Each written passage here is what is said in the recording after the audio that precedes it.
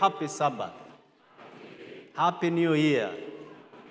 I'm saying Happy New Year because this is my first time to be here this year. And I believe the Lord has prepared something great for each one of us.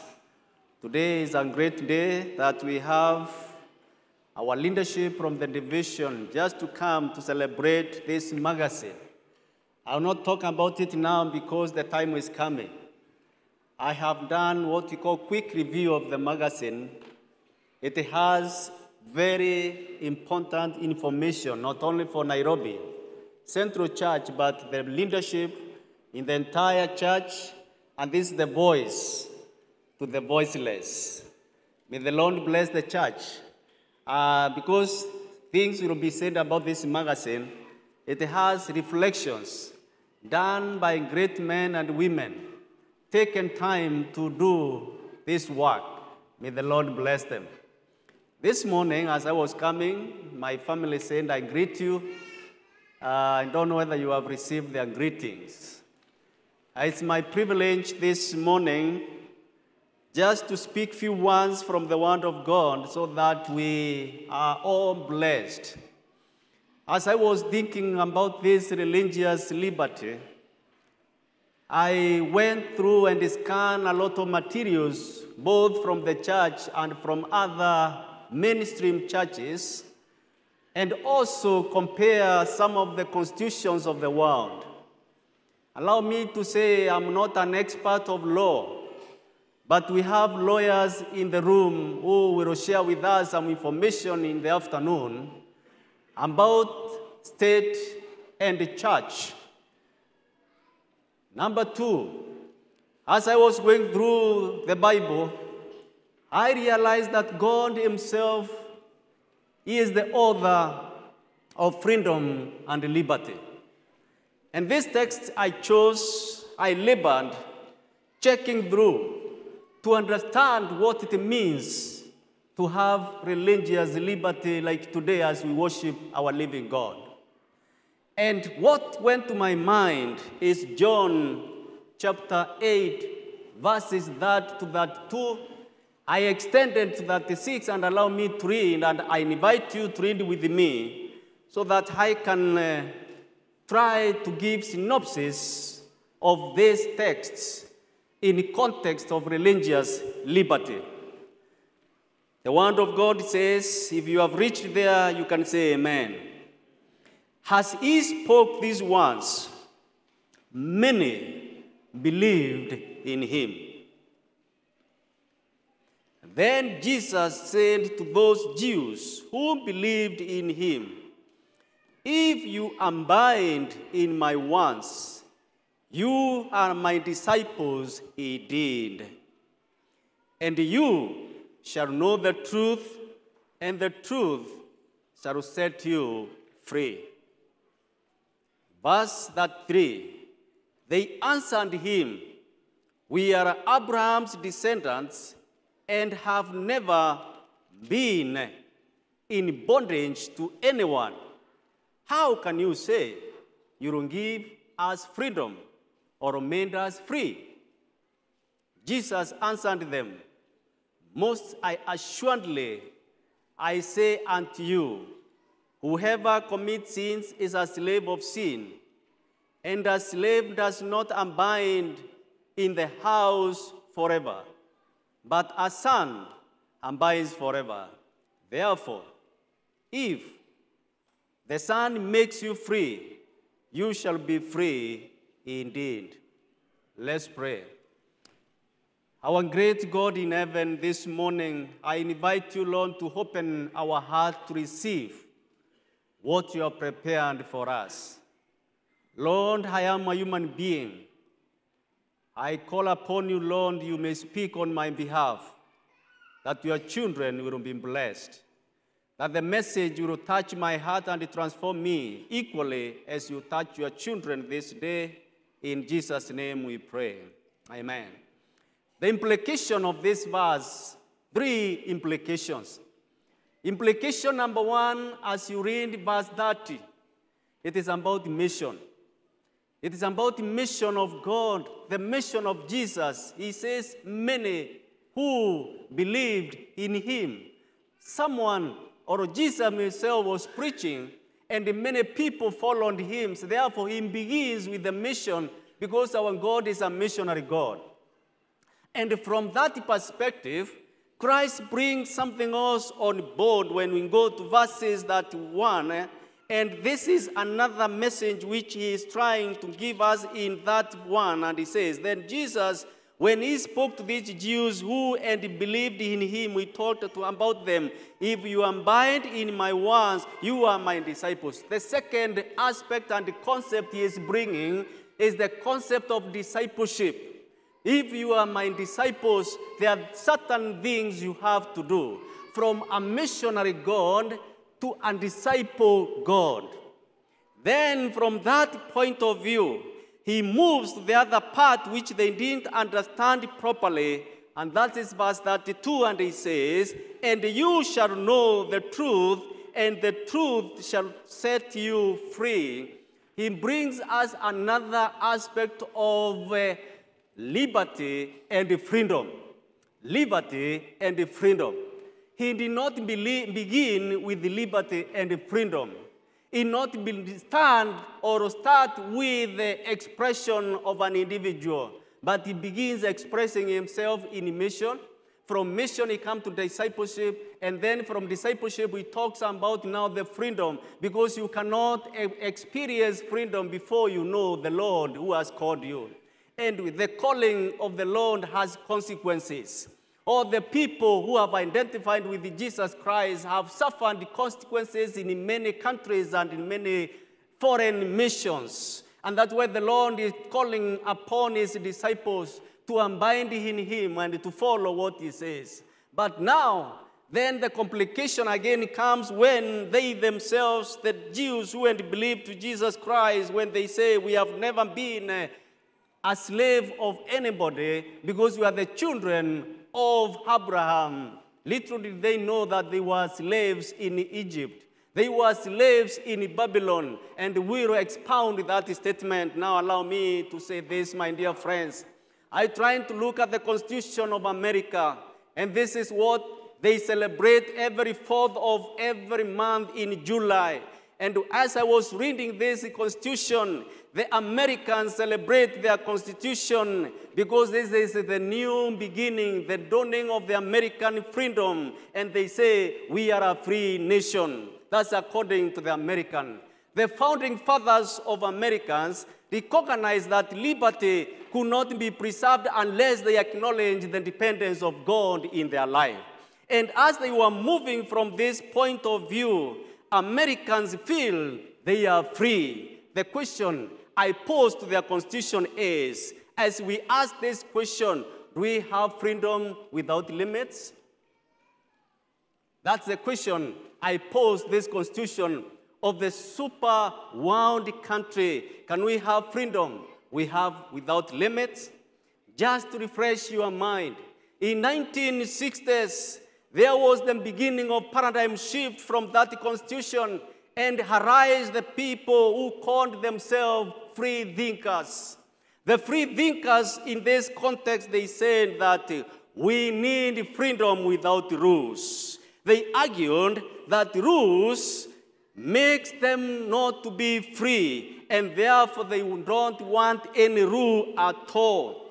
Thinking from this perspective, they influenced many religious institutions. They influenced many governments in the world. And this is what they were saying. And this is what, what their statement was that freedom does not require any law. My question that I want to pose to each one of us today if we go through the thinkers, the free thinkers, therefore, it means true freedom will not be there. And according to them, they need freedom, which means no rules, no laws, no morals, no community standards. However, the moralists came and challenged that position, and this is what the moralists came and said if everybody will be allowed to do what pleases him, therefore, the exercise of free love will not be there. But this what it wouldn't be implying that there wouldn't be free love. You can love anybody, anytime. You can walk out with my wife or somebody's wife. You can walk out with somebody's daughter because we are living in the free world where you can love anybody, anytime. You can go with somebody's wife. Then it says, free drugs. You can take good and bad drugs because we are in free world. It means free sex. You can do anything that you want.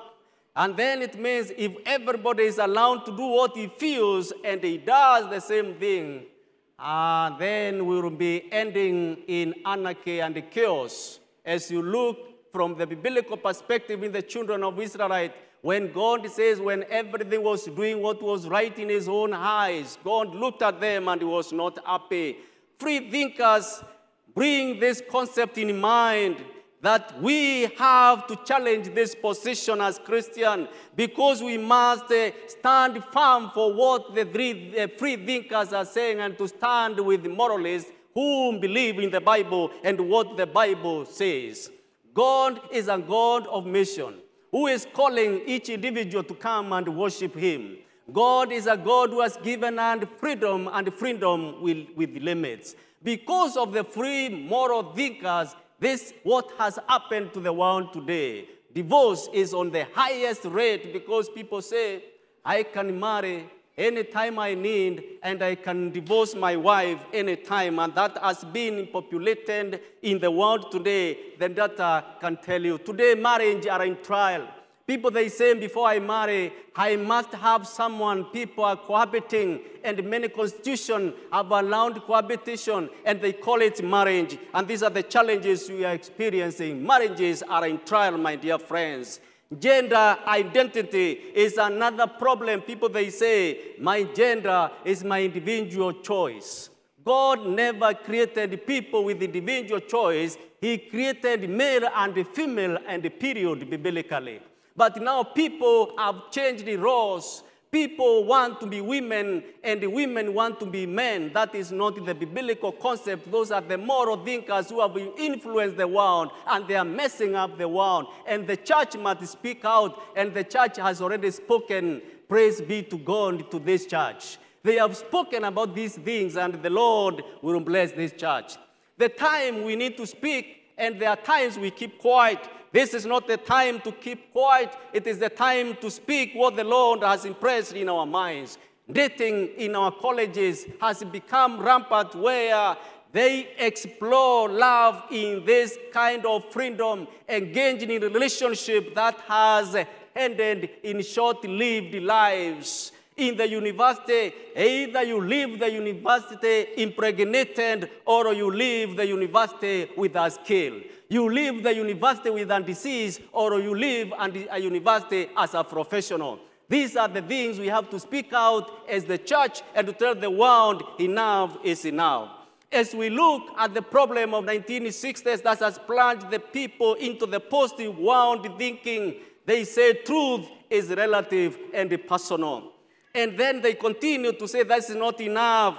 They say authority is objective. It is subjectivity. It is subjectivity. It is not the truth that we need to know, but freedom has boundaries. Praise be to God.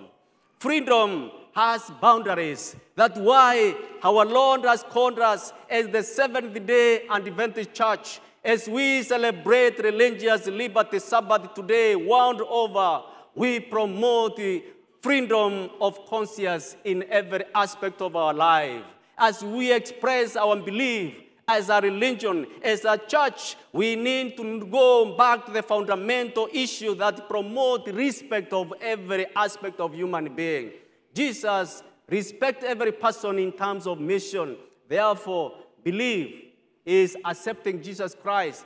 You cannot be quashed because you have believed in Jesus Christ. You can't be quashed because you are an Adventist. You can't be quashed because you are a Muslim. You can't be quashed because you are a Catholic. You can't be quashed because you are a, an atheist in your own way because that is your choice according to yourself. But God has said we live in world of pluralism. And as we live in the world of pluralism, let the word of God define our principles of what we believe. Let the word of God speak to us and live by the principles of God Himself as He has spoken to us in the world. Let us promote good life that respect and promote freedom for each one. Let us advocate what the Lord has spoken to us in His word. This word again also implies that his audience didn't understand himself. That's why I'm calling it religiously incorrect religiously incorrect. Allow me to tell you why I thought through that one. Go back to me in John chapter 8 as we read together. Let's read again when Jesus said in verse 31. Jesus spoke these words and he said, Then Jesus said to the, to the Jews whom believed in him, If you abide in my, in, uh, abide in my word, you are my disciples indeed, and you shall know the truth, and the truth shall make you free. According to the Jews, they were free. And Jesus is giving them the one is introducing them to slavery according to them. And that's why they said, We are the children of Abraham. We have never been slaves. Allow me to take you to the Bible. In Psalms 137, if you can recollect your mind, when they were in the foreign land, they said, How can we sing the songs of Jerusalem, the songs of Zion in a foreign land? The Bible says they hanged their, their harps in poles. They could not sing because they were wound of slavery. This is what we call religiously incorrect because they did not understand what Jesus was telling them. To be free indeed is to be free from sin. And according to them, freedom means that we are not under the bondage of everybody. The understanding of religious freedom, according to the world, is to be free, that you no one can hold you responsi- responsible. But according to Jesus, every believer must be held responsible by God who created you in his own image. You must obey his laws. You must follow that says the word of God. But today people want to live a free life. They don't want to be held responsible. In fact, this tells me they did not know the truth. That's why I'm calling it religiously incorrect of the understanding of who Jesus is. They went on to tell Jesus, We are free. He did. But Jesus trying to explain in verse 34, that's where now my message comes home. He says, Jesus answered them, Most I assuredly I say unto you, however commit sins is a slave of sin. The slavery in which Jesus implied in this context is not the slavery that you are under the bondage of somebody, but you are at the bondage of the sin that has taken control of your life. I want to say, my dear friends, religion and religious freedom has no natural bearing, but they have the core ethic statement from the Ten Commandments of God. Those are the principles that begins to help us to understand. It is the declaration of worship where it is exclusive of God who created. In classical Jews' understanding of freedom, it was covenantal. It was covenantal according to the Jews that permitted some things to be done and that forbidden some things to be done. It is permissive and forbidding according to the understanding. But according to the Lord whom we worship, such religions are driven from God's conscience. And when we understand the conscious mind of God and live by what the Lord has done to us, therefore, it means the freedom Jesus has given us is to let the people of God go. And this where Jesus got this statement from uh, Exodus 7:26, talking to Pharaoh, when he said, Let my people go. Allow me to say, let the central church go and serve their Lord. Let central church speak against uh, these issues affecting our country today. Men, who want to be homosexuals and they baptize it. Those who want to be lesbians, And sometimes we don't want to speak in the pulpit because we can be accused. If you are accused, the Lord will be your arbiter. Praise the Lord. Because He's the one who has spoken these things. He created people with limits, but now people have gone ahead. They don't want to be to have any limit. In the church today, the issue of freedom, the issue of gender equality has become a subject of debate when the Lord has spoken one man, one woman, but people have made this a debate. As they keep on debating upon it, let us uh, leave these things and live within the borders of the Lord, who has called us to be individuals saved by Him and Him alone. Religious and religion are two things that cannot be left without working together. The true faith remains what Jesus says to ourselves. Allow me to take you to another thing to say. Apart from uh, being sinners, God has given us a gift of freeing us from sin and making us his people according to what he says. Now, allow me to say something else that is very important for you possibly to consider and to see whether it makes sense to you as you live in this world. And you consider, apart from having the three concepts we have talked about mission, discipleship, and freedom, then I want to talk something about what happened somewhere. One father and two children, daughters, and they decided they need to put boundaries in their family on how to live. And they said that the father, you have given us many laws in this house, we want to freedom.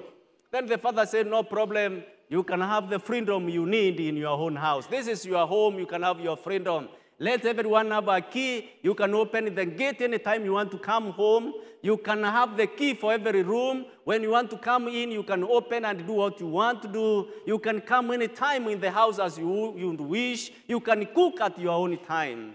And that is the new law they began in their home. So they started. The first daughter could sit there, not talking to the sister, and they were not talking to their father.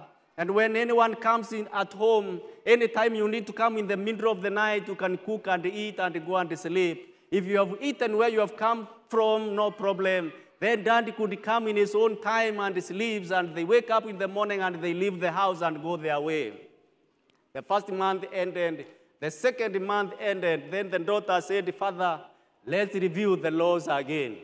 They want to live in a world without laws and boundaries. They said, Father, let us review the boundaries again and let's go back to where we started. At least with the laws, we could talk to each other. With the laws, we could sit together in a table and pray together. With the laws, we could cook together as we talk. But now, without laws, no one is talking to each other. Then Dan asked them again, My daughters, it is true, what do you want us to do? They say, Let us go back to the laws where we began. God is calling the world to go back to his commandment because the commandment describe the character of God. Any human being who wants to live without the law of God will think as a moral thinker. No law, no moral issues we need to have, but the Lord is calling us to have those morals. That's why Jesus says, liberation from sin and death is what we need today. We need to examine our heart. We need to look at the state and what the state are saying. And we need to, re- to redefine our personal and social relationship as we live with human beings. We need, my dear friends, to understand the journey of freedom began with God Himself the journey of freedom goes back to God Himself. And God is calling upon the men and women to say no to all moral issues, including the corruption that we experience this world. I was reading and I went to check through the religious leaders of our time who spoke against many things, the like of Archbishop Muge, who were killed because of standing for what is right.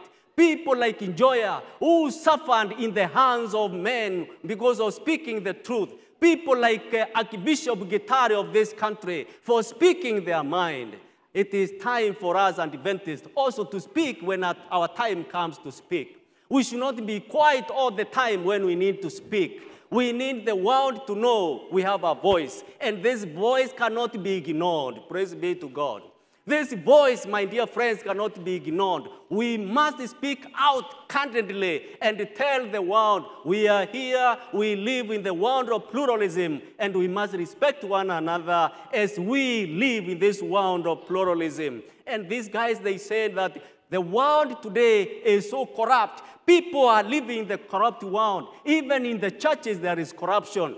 But the Bible, and they spoke and they said, men want to get money in the context of helping the poor. People want to make sure that they are richer and we have the poor people. Jesus was telling you, I'm calling you not only to be free from sin, but also to have the freedom that respect other people and also respect the nation. It is our time to speak as the church. When the government does something wrong, we must come out and say, This is wrong. But you cannot keep quiet all the time and say, The Lord will help us. Yes, it is true. The Lord will help us, but we need to speak out.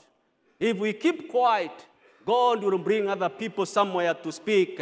I want to give you some scenarios in the Bible. When people kept quiet, there is someone in the Bible by the name Esther. She went to the king and talked to the king. And she spoke to the king because the uncle said, If you don't go to the king and talk to the king, the Lord will bring another salvation from somewhere else. The church must speak out. The elders, we must speak out. We must say no to evil things. Hallelujah. And we must uphold the principles of the Lord. We need people like Nehemiah. Nehemiah who stood to restore the church, to restore the nation, and to build up the kingdom of God again when even religious leaders and ran away. Nehemiah stood alone and God used him. We need people like Ezra Men who stood and they say, we need to return back to the principles of God. We need to return back to the commandment of God. And in Ezra 3.10, when you read that verse says, he spoke to the people. He read to them the constitution of God, the Ten Commandments. And when they understood the commandment, they cried and they raised their voices and they said, we have heard. We want to obey. We want to submit. I'm calling upon ourselves, men who are here today and women, that we live by the principles of God, that we don't need to fear anyone because the Lord has given us this freedom of expression. He has given us liberty to worship. We don't need to shy off, but we need to talk out, out and at the same time respect others because they have also their right. My dear friends, in my synopsis, I could say freedom has limits has borders and has boundaries.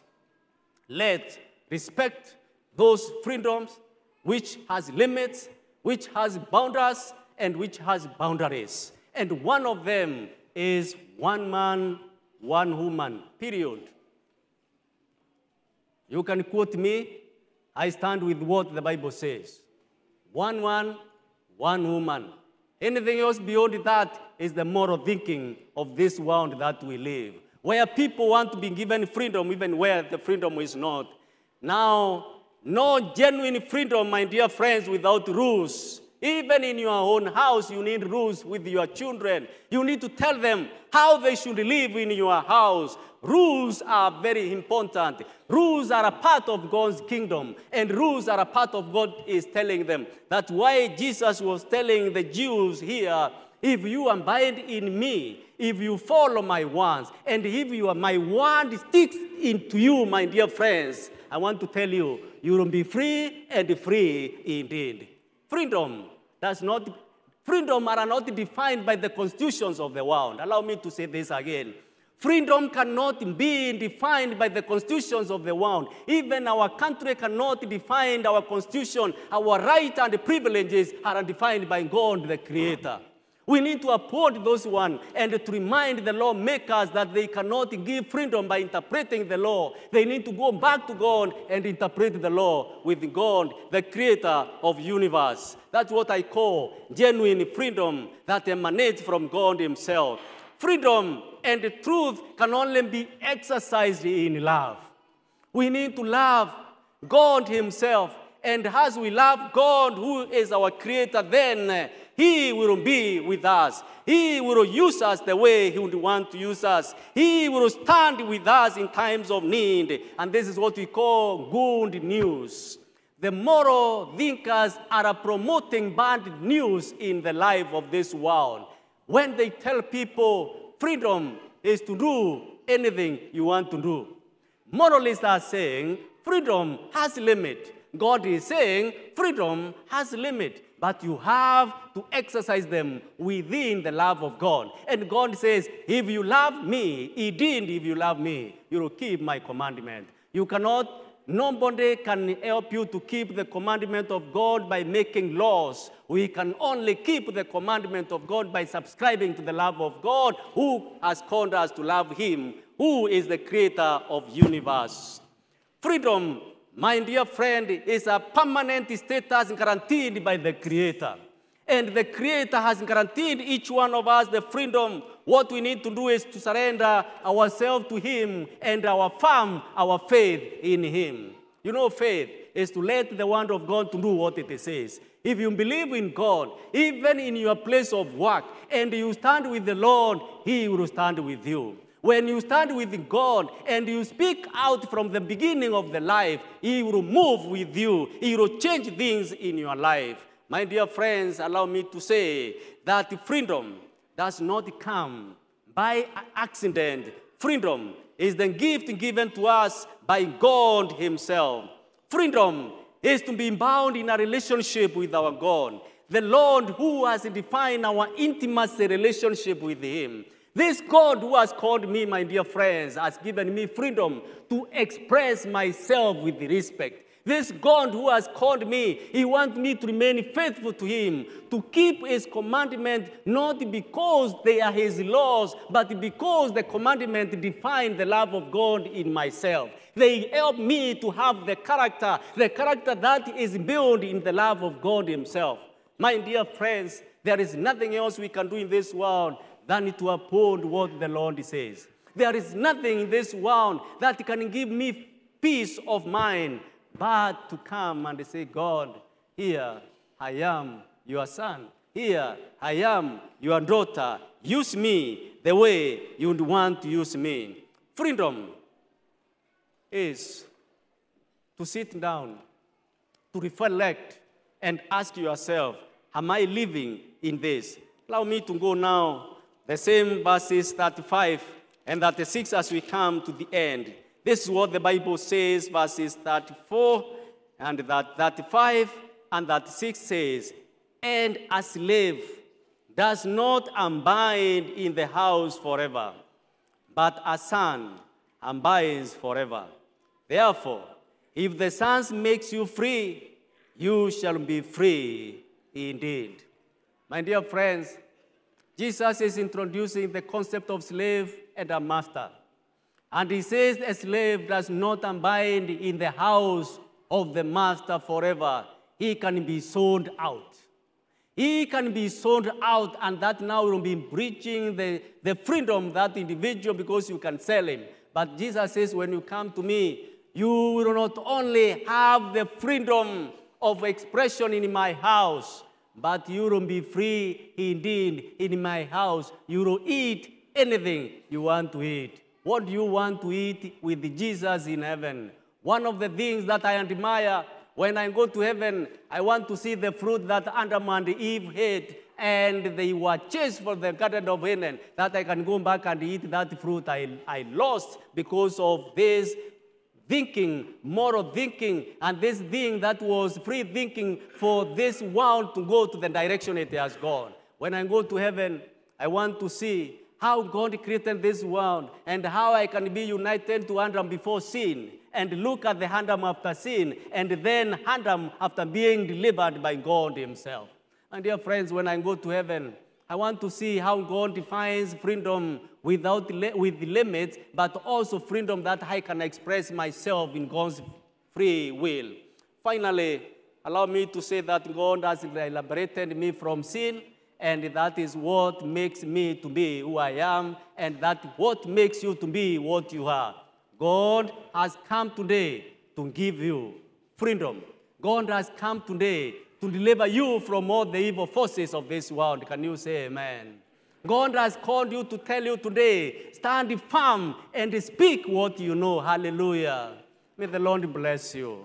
If you identify with us kind of uh, prayer, can you stand that we can pray together? Let's pray as we hear the Lord speak to us again. Let's pray. Our Father and our God in heaven, what a privilege you have given us to know that freedom begins with you. You have called us, Lord, to identify with what you have given us, that we may live as your children. Lord, forgive us where we have kept quiet when we are supposed to speak, that we may now learn to speak when the time comes for us to speak.